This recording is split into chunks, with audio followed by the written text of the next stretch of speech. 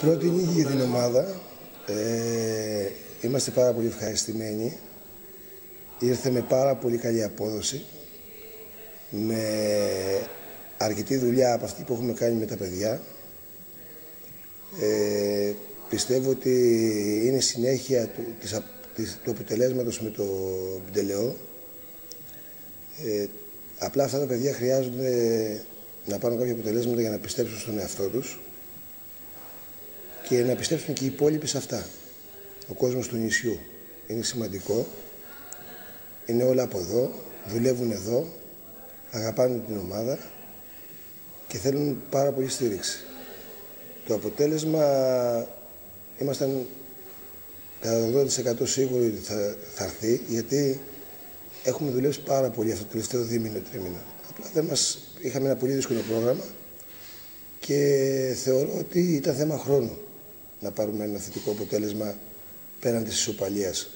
Είναι μια νίκη τόνωση και όσον αφορά ε, τα γκολ, γιατί δεν είχαμε πετύχει ούτε γκολ μέχρι στιγμής, αλλά πιστεύω καθαρά ψυχολογίας.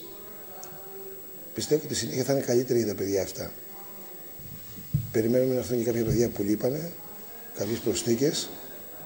Ε, ε, είμαι σίγουρος ότι τουλάχιστον στο επόμενο δίμηνο η ομάδα συνέχεια θα ανακάμπτει. Το μόνο πρόβλημα είναι αυτή τη στιγμή λίγο με τα δρομολόγια, τα οποία δεν έχουμε χρόνο να είμαι τόσο κοντά τους, αλλά ο Βασίλης Μηδιαλάκης κάνει πάρα πολύ καλή δουλειά. Είναι κοντά στα παιδιά, έχουμε άμεση συνεργασία και τα αποτελέσματα τα βλέπετε. Σήμερα είχαν, είχαμε 6-7 παιδιά από 15 με, μέχρι 20 χρονών. Αυτή είναι η δουλειά μας. Λοιπόν, να τη στηρίξουμε όλοι και να έχουμε επιτυχίες. Τίποτα άλλο. Ευχαριστώ πολύ. Ε, ήταν ένα δύσκολο παιχνίδι σήμερα.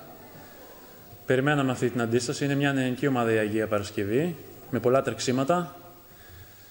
Είχαμε υποσχεθεί όμως στον κόσμο, στη διοίκηση, σε όλους που βάζουν τα δυνατά τους εδώ πέρα, μας τα παρέχουν όλα, όπως βλέπετε. Την είχαμε υποσχεθεί αυτή την νίκη. Αργά ή γρήγορα θα ερχόταν. Δουλεύουμε σκληρά όλη τη βδομάδα. Είμαστε όλοι ενωμένοι.